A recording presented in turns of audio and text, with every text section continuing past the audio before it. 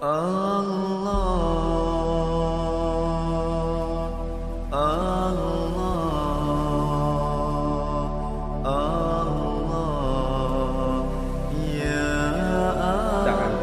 Hadis kursi ni kalam daripada Allah.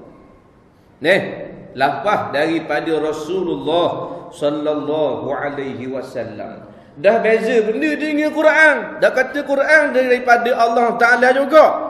Quran ni kalam lafaz daripada Allah, makna pun daripada Allah Subhanahu wa taala. Dah beza benda pula dengan hadis Nabi. Hadis Nabi ni lafaz daripada Nabi, makna pun daripada Nabi sallallahu alaihi wasallam. Faham tu? Neh. Ha. Bahkan hadis-hadis kursi ni Imam Ghazali kata sangat berkesan kerana adanya kata-kata Allah hamba-hambaku begini, begini dan begini atau hambaku hendaklah engkau begini, jangan engkau begini dan sebagainya. Nak cang hadis kursi ni depan biasa dia ada ya benar Adam. Hei anak Adam. Eh manusia. Ha tu makna hadis kursi ni. Nampak? Ha. Fikirkanlah firman Allah Subhanahu wa taala yang mengatakan wahai sekalian manusia, aku hairan melihat orang yang meyakini kematian tetapi dia masih bergembira. Allah Subhanahu wa taala hairan melihat orang yang mempercayai tentang kematian percaya bahawa dirinya juga akan mati dan dimasukkan ke dalam liang lahat tetapi dia masih sanggup lama-lama bersembang bergurau dan senantiasa bergembira dia tidak merasa cemas. Bagaimana kalau dia, dia nanti sudah berada di dalam kubur tidak ada yang dapat menolongnya kecuali Allah Subhanahu wa taala. Imam Ghazali kata Tuhan hairan. Tuhan tahu dah tapi nak menunjukkan di sini peliknya manusia. Apa pelik? Dah dia tahu dah dia ni akan mati. Tiba-tiba dia dah buat persiapan untuk mati tu. Dia tahu dah dia nak jumpa dengan Allah esok lusa. Dah lama dah. Nah, tapi dia tak bawa apa yang dia nak bawa bertemu dengan Allah Subhanahu wa taala. Kita kalau esok lusa nak ngadak raja. Neh, kita debau Nampak? Dodak, dodak, dodak. Dada. Apa? Esok dah nak mengantar raja ni. Lepas tu, buat benda jumpa raja. Dah nak ambil pakat datuk. Neh. Ha. Lepas tu, buat persiapan Melaka dah. Oh, buat persiapan Melaka dah. Baru ni tepuh dah baju Melayu sepasang. Siap angin saping. Nampak? Ha, sokok tepuh dah. Ha, kosong buah atas sokok. Neh. Ha, macam-macam lah. Kasut beli hak baru. Stokeng, stokeng baru ke? Dah pakai lama dah apa? Eh, tak boleh. Ngadak raja kan? Ha. Pandai gitu kau. Bila ngadak raja, pakai lawa-lawa. Buat persiapan buat. Sebulan tu. Eh, jangan kata sebulan. Dua bulan tu. Nah, nu jumpa dah nu. Neh, ha, cari dah. Kedai apa benda ni? Potong baju Melayu. Neh, ha, cari hak color comel-comel sikit biar mana sultan ni suka. Nak kain hak mahal. Tak beli lah kain hak keras macam kuning dah. Hak lawa punya, hak mahal punya apa? Pasal nak jumpa dengan raja, nak ngadak sultan. Neh, padahal sultan sama macam kita kak. Nampak? Berak sama busuk dengan kita. Ketuk sama busuk dengan kita. Makan sama dengan kita, minum sama dengan kita. Betul tak?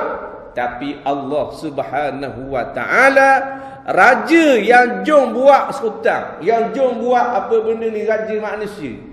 Dia yang buat presiden mereka Nah, dia buat lagi Tapi tiba-tiba kita nak jumpa dengan dia Kita tak buat persiapan. Kalau kita tak bersiap jumpa dengan raja manusia Dah, habis kuat pun kita kena hukum je lah Hukum pula kena molek tak bunuh. Nak ada J 4 bulan. Tapi kalau jumpa dengan Allah Subhanahu wa taala dalam keadaan kita tak buat persiapan hukumannya masuk dalam neraka Allah Subhanahu wa taala. Batulah kematian ni satu perkara yang amat besar dalam kehidupan kita. Wa kafa bil mauti wa izama. Cukuplah kematian ni memberi pengajaran yang besar kepada kita dalam kehidupan. Orang yang nak buat maksiat bila diingat kepada kematian dia tak akan jadi buat maksiat. Nih, kenapa? Kerana Nabi kata, tak sesungguhnya orang yang ingat mati ni tak ha, dia tak akan berani Nih, buat dosa kepada Allah. Dan kematian ni memutuskan segala kelazatan. Nih, ha, mati ni dia pemutus segala kelazatan. Bila ingat mati kok jadi habis semua dak lazat belaka. Nih, tengah-tengah nak berzina, dak jadi nak berzina pasal apa? Ingat kepada mati. Tengah-tengah nak curi, dak jadi nak curi sebab apa? Pak dara mati. Lepas tu, dah mu muka pak dara mu nak nak dara kan? Allah tak sedap agak ngalang ye mati curi, malah esok ah curi. Nih, ha, dak jadi nak curi. Pasal apa? Mati. Eh, orang nak ngupak ingat ke mati tak jadi nak ngupak. Orang dok tanya juga ustaz eh nak buat mana ni? Jarang kita ni petang-petang mari semua rumah. Nah, bagus mari rumah. Dak lah mari rumah ni dua tiga empat orang mari duduk atas tangga rumah kita dok mari ngupak kita dok sedap. Nah, dak kabarlah ke bini mung tu. Neh, ha, dak sedap bini kita kata dak sedap lah kabur-kabur berasa hati jadi badah pula. Nah, ah mudah saja beri kepada mereka ingat kepada mati. Dan jadi ngupak. Dan awak mana? Oh, esok mugi kedah kanda. Bang, eh. beli suti dah jangan lebih banyak suti. Neh, letak depan lambu rumahmu tu. Neh, beli batu nesang tiga empat otel atau jujuk situ. Neh. Ha. Ia mari rumah tak jadi ya. Nak ngupak. Assalamualaikum. Waalaikumsalam. Ni jah ada jah. Dia ya. Masuk. Dah boleh. Nampak? Masuk ke ruang tamu depan meja. Kan dia cuti. Dah. Ha. Lijah kata ni benda pula eh. Tak kan dia ingat mati. Nampak? paling tangki kanan pula ni dia pula. Batu nesang. Dan nama apa dia? Nama mu dah nah memang tak jadi ngupak ah. Nah oh, dah tak apa dah minta diri dulu dah assalamualaikum. Bun bo baru ingat kepada mati. Ingat tu. Tak jadi nak harus tunggu nah batu nabi suruh kita pergi ziarah kubur nampak ha, orang dah buat manusia kubur Masa depan mata dah apa? Orang meninggal dunia. Zuru kubura fa innahu tuzakkirun Ziarahlah akan kubur. Nescaya dia akan mengingatkan kamu kepada kematian. Kita pergi kubur tu kat kubur pak kita, kubur mak kita, kubur tok kita. Bukan ingat ke ayah kita saja. Bukan ingat ke mak kita saja. Neh, bukan ingat ke adik-beradik kita mati-mati dah saja. Tapi kita ingat kepada diri kita juga. Hmm, esok lusa aku mati gini juga lagi kita tanah dalam tanah. Lagi. Neh. Ha, tu manfaat di ziarah kubur. Manfaat bagi mayat dan manfaat bagi orang yang hidup. Mayat dapat manfaat kok? Ya, sekiranya yang datang ziarah kubur itu nampak berdoa kepada mayat. Mayat dapat manfaat kok? Kerana bila tanang mayat ni Nabi kata istaghfiru li akhikum, istighfarlah kepada saudaramu. Dah hak suruh Nabi suruh istighfar tu manfaat tak? Manfaat Nabi tak suruh perkara sia-sia. Tak ada hadis Nabi suruh perkara sia-sia. Nah, ada hadis Nabi Nabi kata isyalah raka. Ada? Ada dah. Pasal sia-sia. Ha, ha. Hak Nabi suruh sudah tentu bermanfaat bukan saja dunia bahkan akhirat. Ha, tu hadis Nabi. Ada hadis pelawak ada? Ada. Lepas tu hadis maudhu' hadis palsu tu hadis rekaan bukan hak Nabi cakap hak Nabi cakap kan. Hak Nabi sabda ada hak Nabi sabda pelawak ada. Tak ada. Siapa hak kata Nabi cakap pelawak murtad. Ha jangan baik. Neh. Dia kata hadis ni Nabi cakap pelawak yang ni. Tak boleh, tak boleh kata gitu. Haram.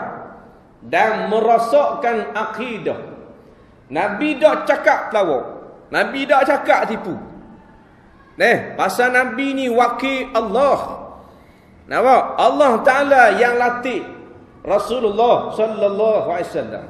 Dokang bila Allah Taala latih cakap pelawak dah. Nabi ni wakil Allah bukan wakil rakyat. Tak. wakil rakyat baru guna sabah. Neh, ada cakap benar. Neh, ha, ada cakap pelawak. Hak ramai cakap pelawak. Tak. Ha, apa? Pasal tukang latih kita kan Allah Taala latih. Neh, dah kita siapa? Kita bapa pelawak. ha, dah. Neh, ha, jadi Nabi sallallahu alaihi wasallam cakap betul belaka. Neh, ha. Hmm. Dan Allah subhanahu wa ta'ala sendiri pun menolong seseorang berdasarkan amalannya sendiri. Kalau orangnya baik, Allah Ta'ala akan melapangkannya di dalam kubur. Tetapi kalau orangnya jahat, maka Allah Subhanahu wa Ta'ala akan menyeksanya dan akan menyempitkan kuburnya. Kita orang beriman pada Allah wajib percaya adanya alam ghaib. Antara alam ghaib ni alam kubur. Adanya seksa kubur. Adanya maknanya kubur ni dilapangkan bagi orang beriman. Disempitkan bagi orang kafir.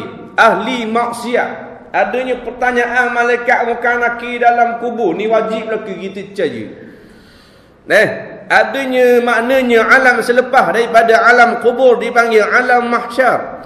Adanya alam syurga dan adanya alam neraka ni wajib kita percaya belaka. Tapi hak ni kita percaya belaka dah. Neh ha hak kita dak berapa nak buat amalan nak masuk dalam kubur ni. Dak berapa nak buat tu ha sayyidina ali karramallahu wajhah dipesan diwasiatkan oleh Rasulullah sallallahu alaihi wasallam neh kita ni duduk atas dunia dah sebanyak ah Dosa banyak ah. Di antara pun hapus dosa kita Nabi kata Nabi pesan pada Sayyidina Ali selepas mu ambil wudu membaca surah Al-Qadr. Inna anzalnahu fi lailatul qadr. Nah, baca sampai habis. Kerana apa? Kerana siapa buat dua perkara ni, Allah Taala pun dosa dia. Mudah tak? Mudah ha? Ambil wudu, wudu bukan ayah. Wudu ni ambil buka pahit air ambil. Bukan wuduk ni pikus mijak naga. Nah, berat kau. Nah. Ambil air basuh muka, basuh tangan sampai siku, basuh kepala, basuh kaki hak wajib lah. Nah. Ha. Lepas tu baca inna anzalnahu fi lailatul qadr wa ma adraka ma lailatul qadr. Lailatul qadr khairun min alf shahr. Tanazzalul malaikatu war ruhu fiha bi idzni rabbihim min kulli amr. Salamun ah ah Ha, habislah. Sadaqallahul azim. Habis. Yang rokok pula. Nak. Sesat masalah. Allah Ta'ala pun dosa kita. Kita buat dosa bagus. Oh. Dadah cara nak apa? Mudah sangat. Nih. Ha. Cara Allah Ta'ala nak apa dosa kita ni banyak sahabat. Antaranya kita baca Quran. Antaranya kita berzikir. Antaranya kita buat baik ke orang. Kita tolong orang kat barang. Kita senyum ke orang.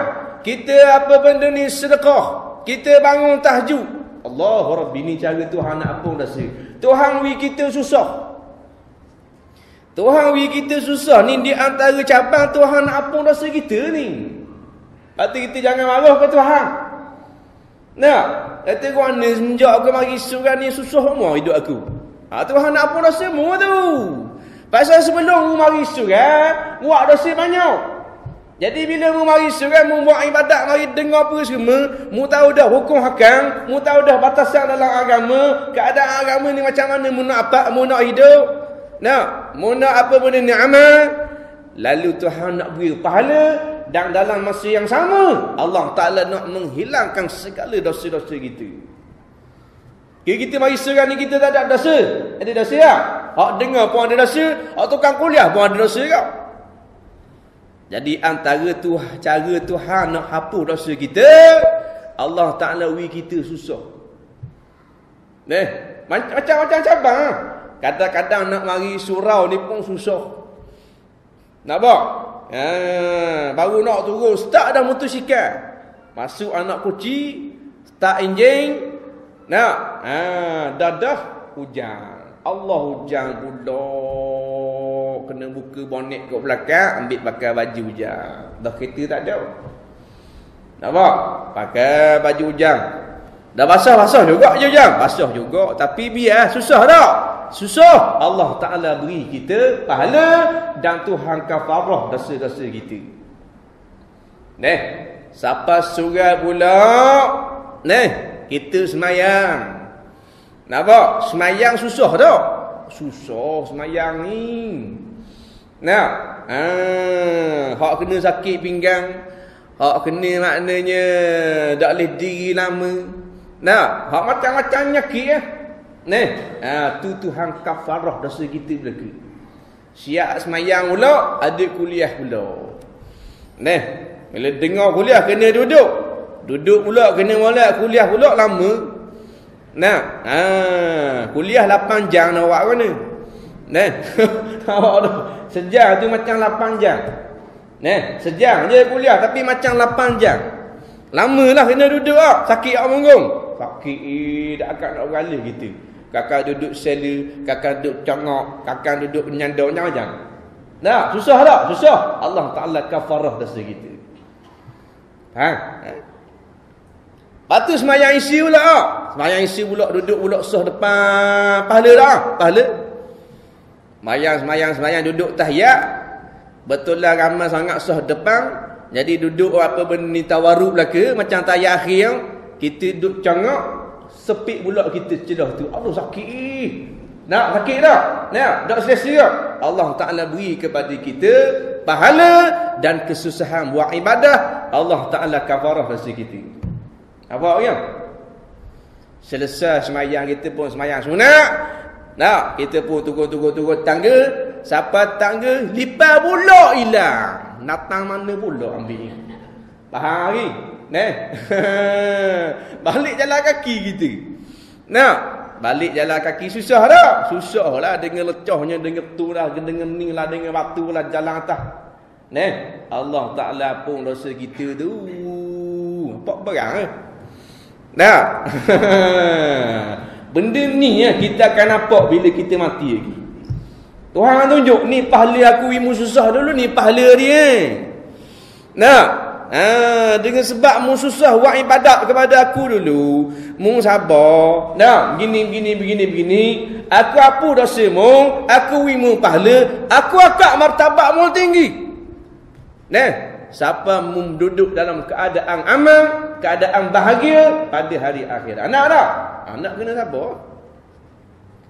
Hak paling parok sekali tu hauji atas dunia, dialah orang yang paling untung sekali hari akhirat.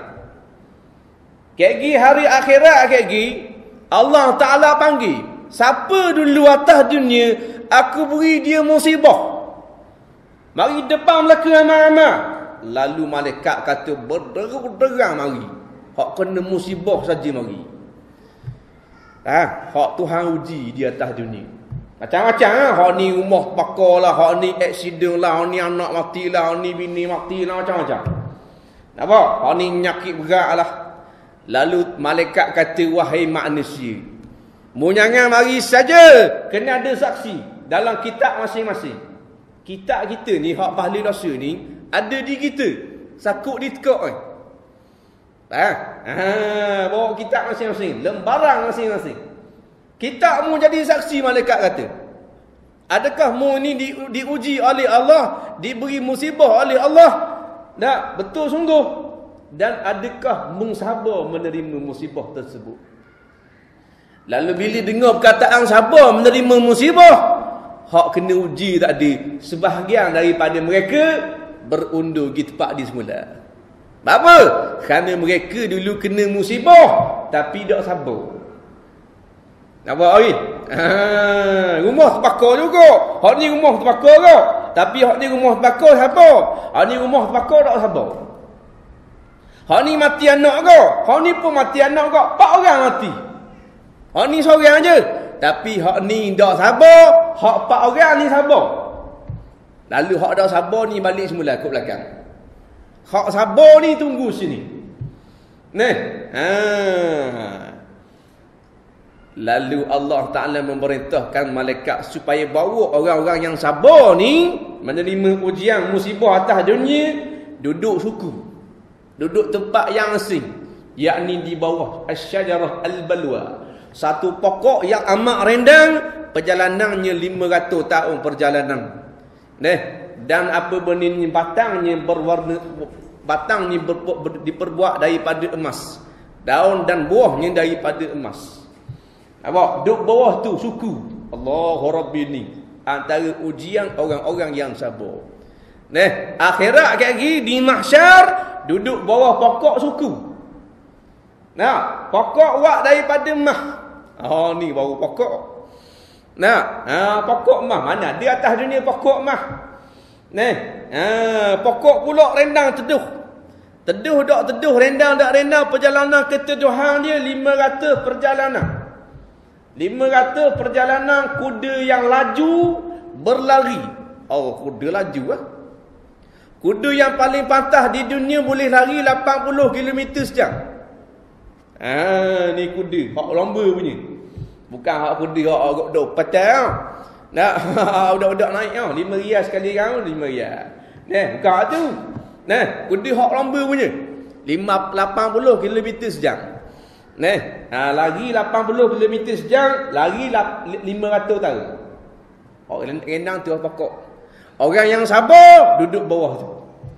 Lalu ramailah ahli mahsyar melihat keadaan orang-orang yang diberi keistimewaan oleh Allah Subhanahu wa taala hebatnya mereka ini sehingga kan manusia di padang mahsyar dia cemburu.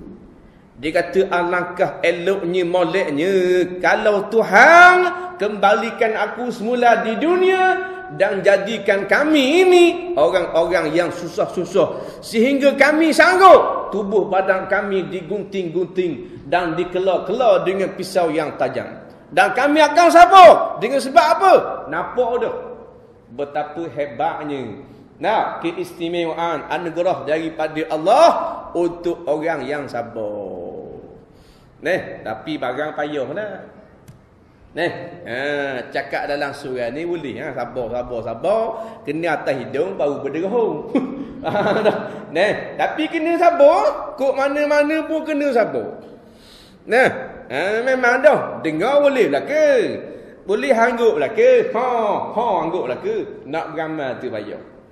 Tapi siapa boleh beramal? Satu pahala yang sangat besar. Ditimpa musibah, Nampak? Dia sabar. Neh. Ha. Dia sayang sangat ni bini dia ni. Nah, pergi sini tak sayang bini cakap sangat. Tunggu sayang ah. Dalil siapa learning? Neh, dak cerah tangga. Betul tak? Asal sayang? Ha, sayang siapa? 12 no. Neh, tak sayang ah. Ha. Ha. Sayang sangat bini ni. Dia dah lawa pun tapi sayang. Dah dah Tuhan ambil bini dia. Ha ni. Nah, kita ingatkan kita pergi dulu. Pasal bini muda. Nah, bini ama 35. Kita 75. Nah, tak? Ada kata kita pergi dulu lah. Ada kata. Ada kata kita pergi dulu pasal 75. Bini kita muda, kita 35. Betul tak? Ha, tapi Tuhan punya kuasa. Kadang-kadang dia ambil bini kita tu. Betul tak? Setuju tak? Tak setuju? Nak kita gok pergi dulu. Neh. Ha. Bini ambil Allah Taala ambil bini kita dulu. Mana mati ya? Nak sayang lagu mana pun kita jangan kita lawan takdir Allah. Ada orang bila disayang sangat satu-satu benda, bila Tuhan hilangkan daripadanya atau Tuhan ambil dengan jalan kematian, nah, ha, dia menangis. Siapa lahak, siapa tahap disalahkan Allah.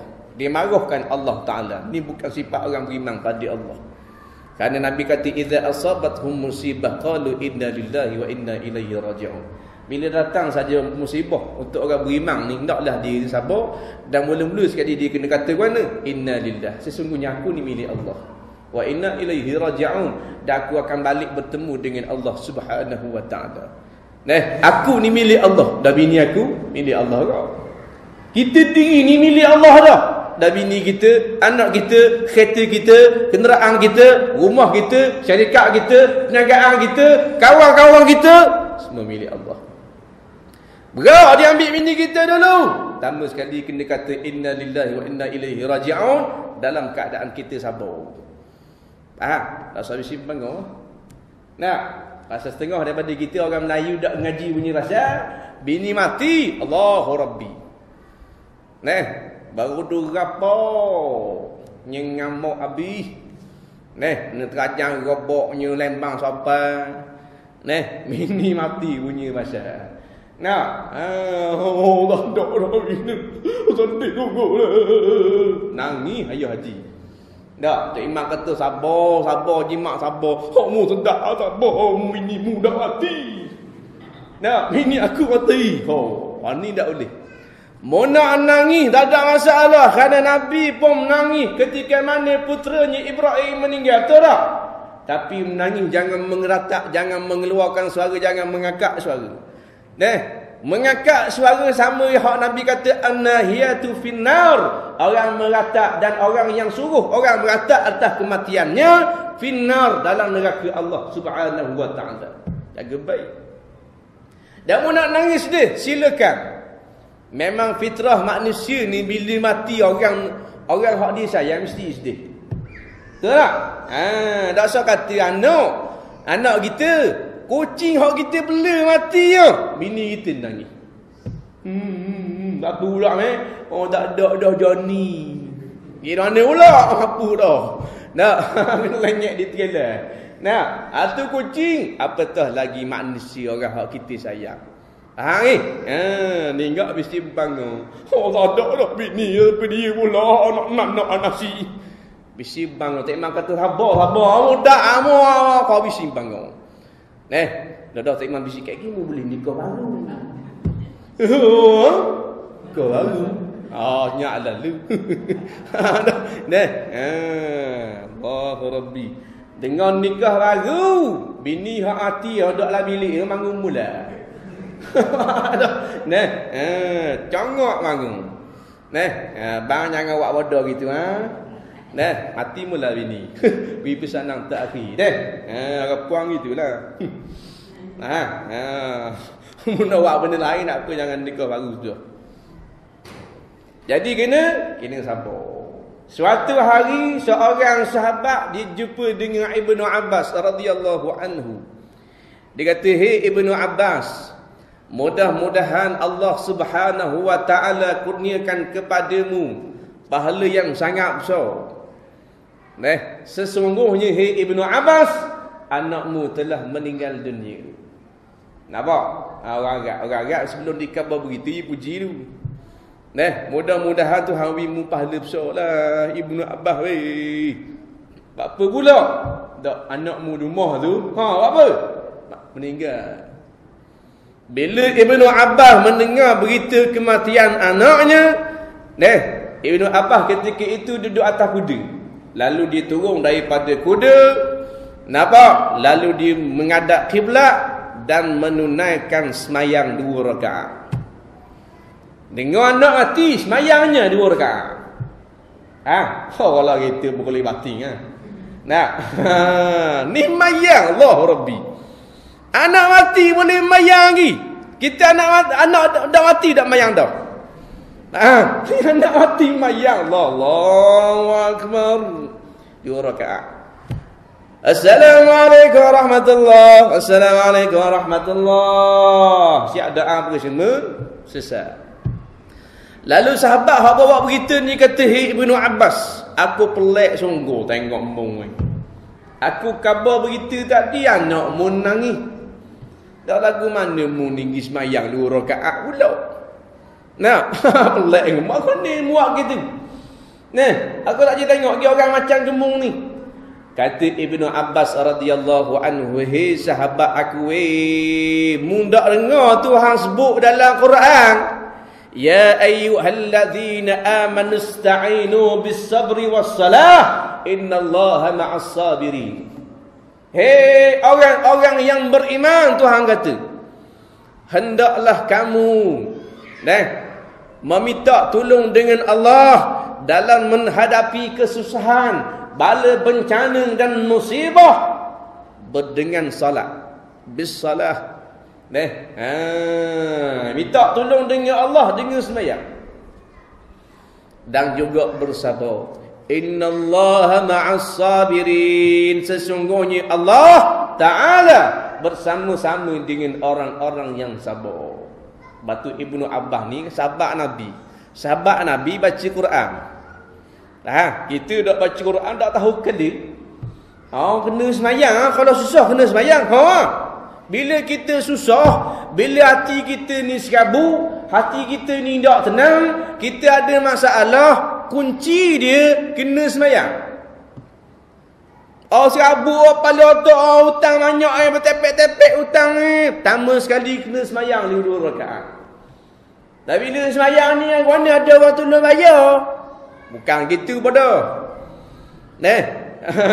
Mana bila mu semayang, mu sujud kepada Allah. Nah, dan mu minta tolong Allah Subhanahu wa taala yang memiliki kekayaan yang tidak pernah habis. Nah, ha, banyak mana ingat hutang mu? Ada 2.6 bilion. Ha, ada. Nah, banyak pada tu Tuhan boleh raya tu tak? Eh, bagi Allah Taala dunia ni hina, kecil dak kecil dunia ni macam ulat dalam sapah. Nah, dunia kita duduk ni, nah, macam ulat dalam sapah tu. Kita lalu biar jalan tengok ulat dalam sapah kita kita kutip ah. Kita tengok oh kotor, bum. Tak apa, jijik. Jadi ulat dalam sapah tu, dunia ni lebih hina daripada ulat yang dalam sapah. Siapa kata? Rasulullah sallallahu alaihi wasallam. Satu hari Nabi semayang, sebelah Nabi ni, tempat Nabi parking kuda, ada sapah. Dan ada ulat riak macam tu. Nah, lepas Nabi semayang pun semua, sahabat lalu, Ya Rasulullah. Nah, tegur Nabi, Nabi kata, nampak apa? Eh, ulat ya Rasulullah. Nah, ha, ada bakal benda tak tahu. Lalu Rasulullah kata, sesungguhnya dunia pada sisi Allah Ta'ala, lebih ini daripada ulat yang dia dimangkai itu ada di sapuh tu. Nampak? Sisi Allah ni dunia tak nak benda. Nah, tapi bagi kita, Allahu Rabbi, dunia ni macam hebat. Dalil dunia ni hebat, kita kejar siapa lelah macam nak mampu. Nah, cari piti punya pasal. Siapa dak dan nak semayang, kupu harta punya pasal. Padahal dunia hak kita kupu ni, sisi Allah lebih hina daripada ulat. Ha? Ha, tapi biar jadi orang cerdik. Nampak? Ha, janganlah jadi orang yang kena tipu sama di dunia. Neh, dunia ni dia akan tipu kita ya mau. Dia akan make up. Biar kita tengok hebat sungguh dunia. Nah, dengan keretanya, dengan rumah yang tersergam indah, dengan pangkatnya, dengan gajinya, dengan pakaiannya, dia solat kita. Kita tengok pakaian kawan kita. Oh hebat baju dia. Comel baju dia. Kita pun dalam hati bercita-cita nak beli atas baju macam dia. Lalu kita buat macam mana? Kita cari duit biar banyak. Betul tak? Ah.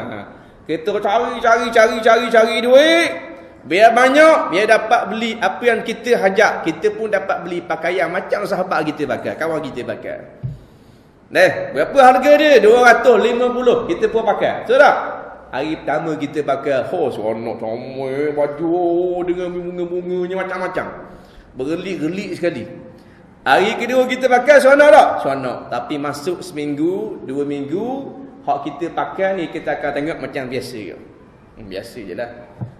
Adakah sama macam mula-mula kita tengok baju? Tak. Dia makin pudar, makin pudar, makin pudar. Lepas tu, kita tertarik dengan baju passing lain pula. Oh, comel baju ni, baju ni kena beli ni. 300 ni kena beli kita pun cari duit beli pula baju orang lain pula lepas tu kita pakai pula pakai pula tendang setahun tukar baju lain pula. Dah siapa bila? Siapa mampu lah tarik. Siapa kita pakai pakaian kita yang terakhir iaitulah kain kafan tak? Gitu belaka daripada pakat rendah sampai pakat tinggi. Sama saja. Faham? Orang cerdik aksaruhum lil mauta dhikra wa ahsanuhum lahu isti'ada. Ha ni Nabi sebut. Ulaikal aqyas ani orang cerdik. Kok mana? Orang yang banyak ingat mati dan paling bersedia menghadapi kematian. Ha ni cerdik ini. Nah, bukan orang yang paling banyak dapat dunia, paling tinggi pangkat dia, paling banyak pengaruh dia. Bukan. Bukan orang kereta besar hebat. Tak. Dia hebat sementara saja. Kereta dia hak mahal tu akan jadi besi buruk. Ataupun sebelum kereta dia jadi besi buruk, tuang dia akan jadi buruk dulu. Tadi antara dua je. Sama ada rumah kita ni dirobohkan orang atau kita ni mati dulu. Nah, antara dua. Sebab tu harta-harta ni tipu tak tipu, bila kita dapat, tak selama-lamanya kita pegang. Ada kalanya harta itu akan hilang dan ada kalanya kita akan meninggalkan harta. Ya, lagu mana kita meninggalkan harta apabila kita meninggal dunia? Dan macam mana apabila harta kita hilang? Apabila harta kita ini dirampok, dicuri oleh orang. Kita cari lelah-lelah, simpan duit dalam tabung, simpan duit dalam bank, dalam payang, rumah dalam gobok, almari. Nah, kita pun gisu kan. Dah balik-balik kaya licin, bahan di peropok. Neh, kita pergi surat perapak mari rumah kita. Nampak? Dia ambil harta kita. Tu dia panggil harta meninggalkan kita. Nampak? Dah kita meninggalkan harta, harta tu ada lagi, tanah tu ada lagi, duit tu ada lagi dalam bank. Tapi kita dicabut nyawa oleh Allah Subhanahu wa taala. Apa yang tidak tercabut dalam kehidupan kita? Amalan-amalan yang saleh. Ha ni tak cabut. Semayang kita tadi maghrib tak cabut. Neh. Kita dengar kuliah agama malam ni pahala dia tu tidak akan tertangga. Tidak akan hilang. Tidak akan dicuri. Neh, pahala ni tak boleh curi. Ah, amalan ni tak boleh nak curi. Kita baca Quran tiap-tiap malam. Amalan baca Quran tu pahala baca Quran tu tak ada orang boleh curi. Tak adalah hari akhirat kan kita dah masuk neraka. Apa? Kita mayang dulu kan. Ya dah pahala buat orang curi. Atas dunia dia boleh ingat. Nah, ada? Ada. Faham Ha, sebab tu amalan yang tidak akan dicuri adalah amalan-amalan kita yang saleh. Neh, wallahu subhanahu wa ta'ala alam. Tengok pula kitab yang kedua, Uqudul Lujain fi Bayan Uqud Az-Zawjain.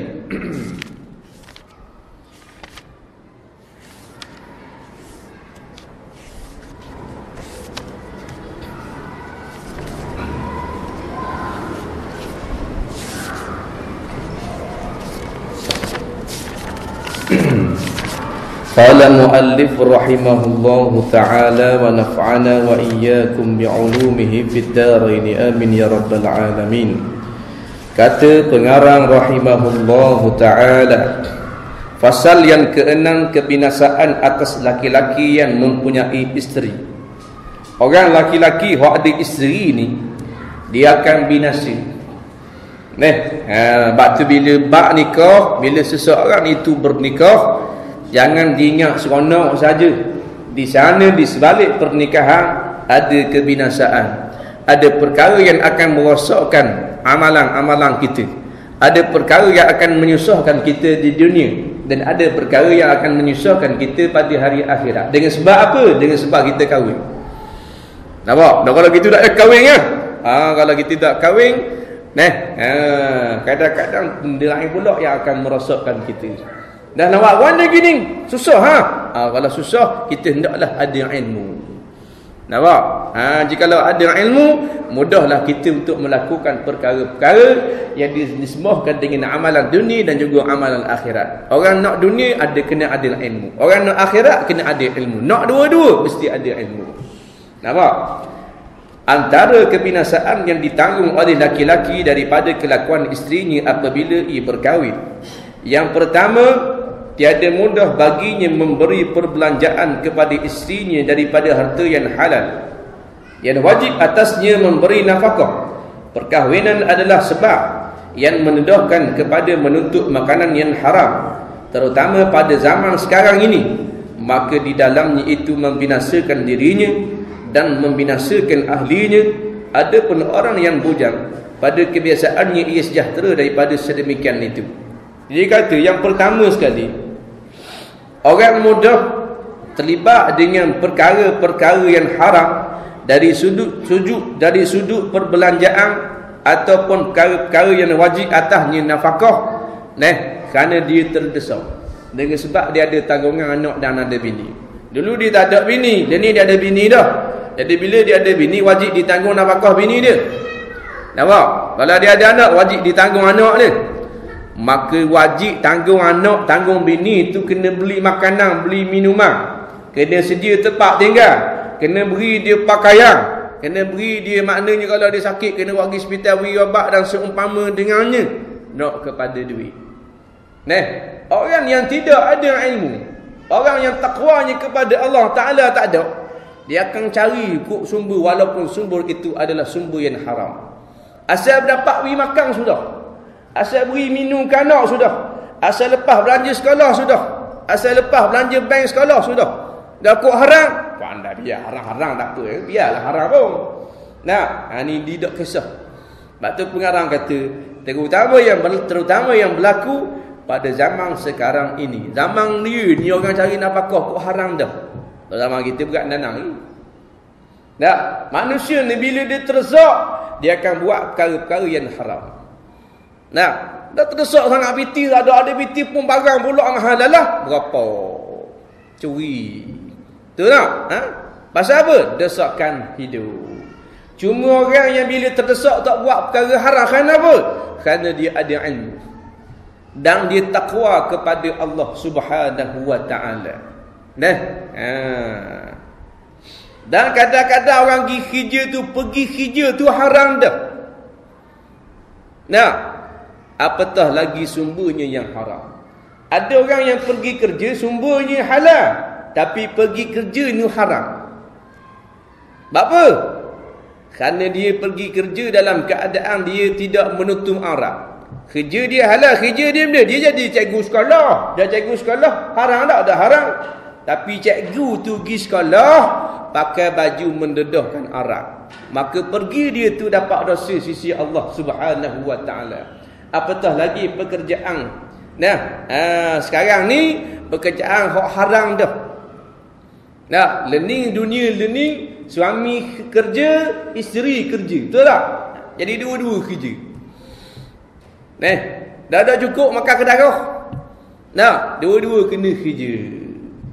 Siapa tahap isteri kerja hak haram pun suami beri juga.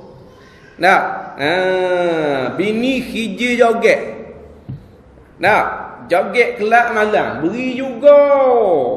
Nah, takut tak cukup makan bunyi bahasa. Bini khija berlakon. Nah, bini khija berlakon. Allahu Rabbi. Maklum ah berlakon kita. Drama Melayu kita lagu mana berlakon? Nah, ha, lakonan tu dia kendaki makna bini kita kena berlakon dengan orang lelaki lain. Berlakon pula kisah tak? Ha, percintaan. Allahu Rabbi ni berlaku zaman kita dah ni. Nah, hak ni bini orang, hak ni laki orang. Peluk dalam agama. Allahu Rabbi dah halal hak haram. Gaji halal ke haram? Lepas tu buat balik makan ke anak bini. Anak pula bila besar, jadi pelakon kau. Tak apa? Makan haram. Jangan kata korang. Tapi ni hakikat dia. Nah, jangan sebut nama pelakon ni, ni pelakon ni. Jangan. Tak, kita cover dari sudut hukum. Nah. Kalau dalam lakonan tu kena peluk, kena peluk ah. Dah peluk dalam lakonan dosa tak? Ke tak dosa? Ha. Ha. ha. Kira malaikat kata ha, tak dosa pasal berlakon tak dosa lah. Nah, sama saja. Mu berlakon ke tak berlakon bila peluk haram?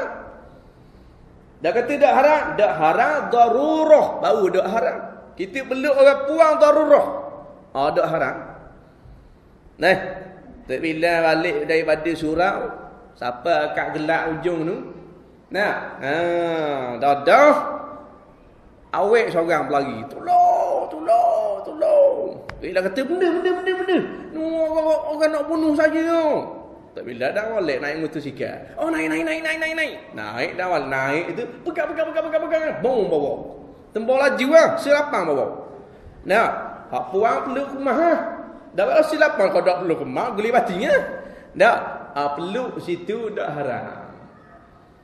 Hai, pasal darurah. Orang nak bunuh dia. Bawa senapang M16 bawa. Aduh, dah kau nak bawa pak udah pang. Aduh, dah kau orang tu bistu kan bawa laju ah, kau lepas. Nah, ah. Dah tu, siapa kat tempat selamat turun ah. Neh, jangan kau hutang jaya pula. Dah ada gigi bodoh. Dah, nak kita pergi minum air dulu tau. Aduh. Neh, ha. siapa setakat tu je lah. Nah, ha. Tengok-tengok, tengok-tengok jogging. Ah, tak. Ha, nampak uh, tasik kat Putrajaya, ada orang lemah. Ha, tolong, tolong, tolong tengok-tengok orang puang. Nampak? Oh, boleh batin kali melemah lah, lah kita. Apa benda lagi? Neh, terjun lalu dah kita pandai berenang kan? Nah, pandai berenang wajib terjun. Neh, ingat tu neh. Nampak orang lemah, ha, kalau kita pandai berenang wajib terjun. Nampak? Tak pandai berenang tak suruh terjun ah. Neh, lalu gigi nampak awet, dia tak pandai berenang. Neh, biar tolong kau ah. Dung terjun, awet pula sama ni. Neh. Jadi ingat dia kalau kita pandai berenang nampak orang lemah buat terjun ah. Ah, eh. Nampak? Ha. Kita pilih orang tak? Nah, dia lemah orang tua biar dia kan. nah, ha, tua dah. Nampak? Ha. Habis apa orang apa orang terjun lalu tum terjun. Ha. Gitu juga Belanggo. Terengganu. Nah, ada kat Zaifil Light Belanggo. Uh, orang tua tu kan. Uh, orang tua naik bisikal, orang puan naik skuter. Dah mula temukan Zaifil Light. Nampak? Habis bakal dulu orang puan. Nah, orang tua tu nungguinyo nyanyi ke dia. Nak bangun dia dah. Nak, ah nu awak sedap. Nah, eh, sakit, sakit. Aduh. Nah, ah. Jadi kau haram tak boleh. Faham? Ha. Yang kedua dan tersebut di dalam sebuah hadis daripada Nabi sallallahu alaihi wasallam bahawa seorang hamba diperhentikan di depan raja pada hari kiamat. Baginya ada beberapa kebajikan seumpama bukit yang besar, banyak pahala dia ni. Kemudian ditanya ya hal yang demikian dengan memelihara ahlinya yang berkaitan dengan hartanya dan yang berkaitan dengan dirinya dalam memelihara mereka itu. Dan ditanya tentang hartanya daripada mana ia mengusahakannya dan ke mana dibelanjakannya. Hingga habislah segala amalan kebajikannya kerana dituntut balas bagi kejahatan itu dan tiada tinggal baginya suatu kebajikan jua pun maka para malaikat menyeru dan teriakan di, di hadapan orang-orang ramai dengan katanya inilah orang yang segala amalan kebajikan dimakan oleh sekalian ahlinya di dalam dunia dahulu. Dan dia berkata lagi hari ini habislah segala amalan-amalannya. Yang kedua kata pengarang rahimahullahu taala akan datang lagi pada hari kiamat. Nampak? Seorang laki-laki yang bawa pahala banyak. Seumpama bukit yang besar Nabi kata. Banyak pahala dia. Dengan pahala zakat, pahala haji, pahala umrah, pahala semayang tahajud, pahala solat lima waktu, pahala puasa Ramadan macam-macam. Nah, lalu Allah Subhanahu wa taala akan tanya berkaitan dengan pemeliharaan ahlinya. Tuhan akan tanya kaitan dengan bini dia, berkaitan dengan anak-anak dia. Seorang laki-laki yang ada bini, Tuhan akan tanya bini dia. Tuhan akan tanya anak-anak dia. Kenapa? Sebab tu Tuhan kata ku anfusakum wa ahlikum nara. Eh orang beriman kena mu kena jaga dirimu dan juga ahli keluargamu daripada neraka Allah Subhanahu wa taala. Bermakna sini kebajikan yang kita buat nah, tidak bermakna kita lepas lagi daripada neraka Allah. Sekiranya kita tidak mengambil berat dalam bab ahli keluarga kita. Deh, Hadis yang Nabi kata man ra'a minkum munkara fayurayyiruhu bi yadihi. Siapa nampak kemungkaran dia kena cegah dengan kekuasaan tangan kekuasaan yang dia ada. Maksud di, di sini sekiranya pemimpin dalam dalam negara dinampak rakyat dia buat kemungkaran. Wajib pemimpin tu cegah kerana di hari itu dia pemimpin. Kerana hari itu dia menteri besar. Kerana hari itu dia wakil rakyat. Kerana hari itu dia Perdana Menteri. Wajib dia larang rakyat dia buat perkara-perkara yang haram. Tak? Maka pemimpin dalam keluarga gitu juga. Nah, wajib kita larang bini kita, anak-anak kita buat maksiat. Kalau bini keluar daripada rumah, tudung tak pakai, wajib kita nasihat dia. Wajib kita marah dia. Wajib kita cegah kemungkaran hak dia buat. Nah, ha, jangan kita berlembut dalam bak geni boleh boleh berlembut. Bak lain boleh berlembut. Nah, ha. Kalau bak rasa jangan. Kalau bak dunia tak apa. Kita buat nasi suruh buat suruh dia buat nasi goreng. Dada nyewa apang balik. Oh tak apa tu, tu boleh berlembu. Kau kau dah kau nak nasi goreng? Oh biar apang balik kali. Oh tak apa. Tapi kalau bak akhirat, bak rasa pahala tak boleh. Dah nak pergi dua ni, oh tudung-tudung tak kau. Oh nak gini depan ni je rumah jiran kita hari jadi uh, ni anak dia. Dah tu dah makan. Oh ya bang kali-kali je. Ha tak boleh. Ha, kita berlembut bang ni. Ha tak apa. Kali ni je, kali ni je. Aduh, kalau otak tu. Nah, mana boleh sekali-sekala? Tak boleh. Bak rasa tak boleh. Nah, ha tak apa sekali-sekala. Tak boleh. Bak rasa mana boleh? Nama, bakar tudung. Budak kata tu aku tak tak tekuk orang. Baru je. Ha. Ha. Ni dah. Kena molek tok laki pula dak suruh bini pakai tudung. Bini kini pakai tudung. Nah, lepas nak ajak makan malam dengan datuk mana tak tahu. Awak dah pakai tudung ha, malam ni. Malu ah bini dia tak pakai tudung, awak pakai tudung malu ah. Nah, ha, ni orang panggil tok laki berjadah begini. Nah, ada pula dak suruh pakai tudung. Haram hukum ni. Tak ada kira bini siapa-siapa. Bini ketua kapong, bini tu imam, tu bila, bini perdana menteri, menteri besar, tak ada kira. Raja, tak ada kira. Tak, dasa tetap berdasa. Dalam kubur tetap kena kata. Siapa yang tidak menutup arah. Faham? Ha, malaikat tak pilih siapa-siapa. Nah, ha, malaikat kata, "Mana mu dulu dak kata dong?" Nah, ada mayat kata kita menteri bawah. Bang, oh menteri. Ah oh, menteri. Oh, okey okey okey sorry sorry sorry sorry sorry. Bong tu bong. Nah, ramai ha malaikat takut dah.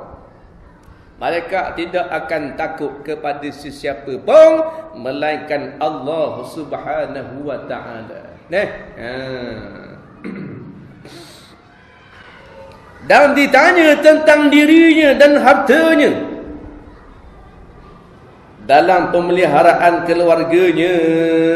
Suti-suti Tuhan akan tanya. Piti Tuhan tanya juga batu hadis yang kita baca sama riwayat at-tirmizi. La tazulu qadam 'abdin yaumal qiyamah hatta yus'al. Tidak akan berganjak kaki anak Adam pada hari kiamat sebelum ditanya oleh Allah Subhanahu wa taala empat soalan. Yang pertama yang pertama an umrihi fima afnah Umur mu atas dunia ke mana mu menggunakan? Yang kedua an ilmihi fima amila fi. Ilmu mu atas dunia beramal ataupun tidak. Yang ketiga wa ammalih min aina tasabahu wa fima anfaqahu. Yang ketiga kaitan dengan harta. Tuhan akan, akan tanya bab harta. Neh, uh, ni pitih ni dulu ni dua ni ambil. Tuhan tahu dah, tapi Tuhan nak kebel. Tuhan nak tunjukkan dah kepada seluruh mahsyar bahawa sini si pulang bin si pulang ni atas dunia macam ni pekerjaan. Neh, ni tanah ni ambil mana? Tanah ni ambil dia ni. Lalu dia akan jawab dalam keadaan yang betul. Mana yang akan jawab? Saksi dia. Dan mulut dia, mulut tak jawab. Mulut akan senantiasa membohongi. Nah, dia akan bohong di mahsyar ni manusia bohong ke? Tahan, batu Tuhan tutup mulut. Kerana mula-mula dia cakap dengan awak. Nah, ha, bila Tuhan tanya dah ni ambil di mana? Tanah ni ambil di mana? Eh tanah ni kita beli dulu naik tu naik tu naik tu cepat tanah. Nah, Tangan pun kata dak tertawa. Kaki pun kata dak. Faham? Ha, dia tipu tanah orang. Neh, dia tipu tanah anak saudara dia gini gini gini gini gini. Lalu mulut kita ni atak di hari akhirat ni akan menyaloh-nyalohkan anggota tangan kita. Anggota tubuh badan kita. Neh, bila tangan cakap mulut kan kata celaka mu tangan. Pasal pun mungkin kau perkara yang benar. Neh, Mulut ni jahat ada jahat. Bila kaki kata akulah dulu melangkah tempat-tempat maksiat. Mulut kata celaka mu kaki. Pasal apa mu buat perkara yang mana? Berat aku. Nah, lalu kaki tangan seluruh anggota tubuh badan kata, aku ini diberi perintah oleh Allah untuk bercakap benar. Ke mana-mana pun tak boleh buat maksiat pada Allah. Neh, batu ulama kata munawah maksiat boleh. Neh, mu tinggal anggota tubuh badanmu rumah, mu pergi buat maksiat. Ha ni, mu nak pergi sini boleh, tinggal ke maluang rumah. Nah, ada ha. Mu nak berzina dua lari boleh. Ke maluang tinggal rumah ha. Nak buat lagi dia nak buat again ni, mana aku tahu. Neh, nak berzina kan? Kenapa? Kemaluanmu ke, kakimu ke, tanganmu ke, mata, telinga, lidah, anggota milik Allah Subhanahu Wa Taala. Tuhan beri pinjam.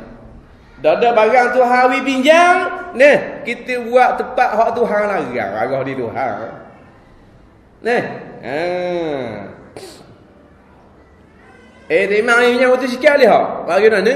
Nak pergi ni, hospital yang atas bini nak mana? Ha, boleh? Nah. Ha. Balik pergi hospital tu depan tak imamnya congek. Dah, depan tak imam. Ring ring ring. Gi mari, gi mari. Di mata tu tu. Nunjuk. Neh. Tak nak kata tu lah pada. Dah. Neh. Muka tu nak atas atas hospital saja dah ni. Mana mai parang-parang parang-parang ni. Nah, tu imam marah kalau guna mutu dia pada tempat hak dia tak suka. Dak Allah Taala. Ha? Ha. Parok pada tu lagi ya. Maka bila di hadapan Allah Taala Tuhan tanya berkaitan dengan ahlinya, maka ahlinya akan menuntut balas pada kejahatan-kejahatan hak dia buat. Kalau suami isteri dia ni kena masuk neraka dengan sebab makan haram. Maka isteri ni akan kata, Wahai Allah. Kami tak tahu pun sumber yang masuk dalam perut kami yang haram. Kami rumah tak tahu. Dia buat kerja. Dia yang cari duit. Kami duduk rumahnya. Kami tak tahu ni sumber haram. Nah, anak pun makan yang haram. Bini pun makan yang haram. Nabi kata kullul lahmi nabata min haram fannaru aula bi. Tiap-tiap anggota tubuh badan yang makan haram maka nerakalah yang lebih layak untuk membakar anggota-anggota tersebut. Nah, maka bini ini akan menyalahkan suaminya pada hari akhirat. Wahai Allah, suami saya yang cari nafkah dia yang tahu halal ataupun haram. Saya duduk rumah tak tahu benda. Dia bagi saya duit. Saya pergi kedai beli, beli berah. Saya pergi kedai beli gandum, beli gula. Saya tak tahu duit itu haram. Nah, maka Tuhan masukkan kita yakni suami ini dalam neraka Allah Subhanahu wa taala dengan sebab apa? Makan yang haram. Deh, tak boleh tu sedap sangat. Oh, dah bagi ya ramai-ramai. Satu untuk kau, satu untuk aku. oh, dah bagi. Ah, tak? Ah, bahan di duit rakyat. Oh, Rabbi. Rakyat nunginyo dari ini. Tak? Ah, kita berjota-jota bahan. Kau atas ni. Rakyat lima ratus ni ya. Tak? Ah, lima tahun sekali boleh Nih, ni kita berpuluh-puluh juta. Allah Rabbi. Hari akhirat susah ni. Apa? Ha, susah hari akhirat. Lalu lagu mana nak tebuh balah? Nak tebuh balah kena ambil pahala kita beri kepada orang yang kita zalim. Kalau Nabi dah pahala lagu mana? Bila Nabi dah pahala kita kena ambil rasul-rasul orang kita orang zalim tu itu adalah pada bawah kita Rasul kita banyak tak Lepas tu minggu pula rasul-rasul kan Buat kita buat saling Maka neraka Apa boleh masuk dalam seseorang itu Dalam neraka Allah subhanahu wa ta'ala Ha, dan kita bimbang tak? Bimbang. Lepas tu bila bimbang, kita tak kuat kepada Allah. Kita kena bimbang diri kita. Ha, bimbang apa? Tiga perkara dalam hati kita kena bimbang. Dalam kitab kami Ulurah ini Yang pertama Kita kena bimbang keimanan kita Akidah kita. Adakah bila kita mati esok-esok Akidah kita di molek Ataupun akidah kita di rasa Pada kita kena bimbang. Sekarang ni molek lagi akidah kita. Molek insyaAllah. Sebab bila kita nak tidur mana kagam Ashadu an la ilaha illallah Wa ashadu anna Muhammad Rasulullah. Jadidu imanakum La ilaha illallah. Perbaharuilah iman kita ini Dengan ucap La ilaha illallah. Nak tidurnya La ilaha illallah. Perbaharui iman kita. Takut apa? Takut siang tadi Kita silap cakap. Kita sembang-sembang-sembang dengan kawan kita Silap cakap. Kita dah tahu. Mana kagak Asyhadu an la ilaha illallah Wa asyhadu anna Muhammad Rasulullah. Bimbang kalau kita tak? Takut cakap kali-kali yang membatalkan akidah. Nah, sembang kedai kopi tengah-tengah minai. Nah, kalau kita baca surah apa? Allah beratnya negara kita ni. Anak luar nikah saja dekat setengah juta. Betul tak? 500 ribu lebih. Tahun 2005 hingga 2015. Anak luar nikah. Nah, anak luar taraf. Nah, ha, yang didaftarkan di JPN 500 ribu lebih. Apa lagi di zaman kita ni? Dipanggil umat dia, umat zina. Ayah kan? Allah Rabbi. Tu hak daftar, hak tak daftar. Ha? Dah start daripada umur berapa berzina? Start daripada umur 9 tahun, 10 tahun. Zina dah. Dah, dah, dah, dah marah apa Tuhan. Ha? Ha, lagi boleh. Anak-anak kita ni amanah Allah. Nah, ha, dah dah bila kawan kita baca buka anak negara kita ni ni lah. Kena buat hukum hudud ni. Kita pun kamu dua mah. Salah cakap. Nah, itu dah maksud gitu. Kita nak salah. Dah apa ni? Allah kata asyhadu an la ilaha illallah wa asyhadu anna muhammadar rasulullah. Nampak? Ya, kata-kata kita cakap Bukan. Kalau kita kata ni anak Pak Pasu ni ingat nak ada pondok Pasu Kita pun Nyata pondok benda. Tak ada siji susah lagi. Nak kerja bila-bila. Salah. Dah mana salah? Atau pondok nak kerja benda ni di pondok siji tak ada. Tak ada Seolah-olah kita mempelakih kalau ngaji agama. Padahal ngaji agama ni Agama ni Agama budak Tak Islam Tiba-tiba kita kata susah nak makan. Susah nak tu, susah nak ni. Sebab ngaji agama Allah. Tak, dalam masa yang sama Kita tak sedar. Kita memperlekehkan Allah subhanahu wa ta'ala. Yang sifat Allah Ar-Razaq Memberi rezeki. Dan kita ni Cari rezeki. Allah ta'ala beri rezeki. Kita tak beri rezeki orang Kita menyampaikan rezeki. Bah kita tu Dah ha, gaji syarikat ni, gaji negeri ni, duit dibagi dibagi ke kita, menyampaikan rezeki. Yang memberi rezeki Allah Taala. Tiba-tiba kita cakap macam tu, Malah kagak asyhadu an la ilaha illallah wa asyhadu anna Muhammad rasul. Takut takut kita tak tahu apa yang kita cakap. Nampak? Ha, lagi baik baik. Aku kena mari belajar orang tu. Nih, ha, bagi malam ni tak tak rugi sikit pun. Nampak? Untung benda ya. Ha, ha, ni orang ajak mari kuliah agama nampak. Rela duduk rumah dengan diri. Tahan daripada muda sampai berubah muda tiup. Tengok keluarga berita semua. Nah, eh boleh benda. Malah sekarang boleh tengok berita. Nampak? Ha, ada tak sekarang? Pukul 10 ada berita. Kan ada kan pulang tayang? Tak, tak ada berita Melayu. Berita sama. Ha, tak. Ha, berita kau. Kalau nak tengok kat berita. Nah, ni maghrib ni. Kuliah maghrib ni. Sejam je. Setengah jam je. 40 minit je. Untuk akhirat kita. Nampak? Datang rumah Allah. Ni rumah Allah tak mau datang. Nih, masjid rumah Allah. Sudah ni rumah Allah kan? Kita pandai. Bila Yahudi bung Palestin, bung Masjid Al-Aqsa, bung masjid di Palestin, kita marah. Masjid rumah kita, kita dah layan. Nah, dah kepala hukum dia kita.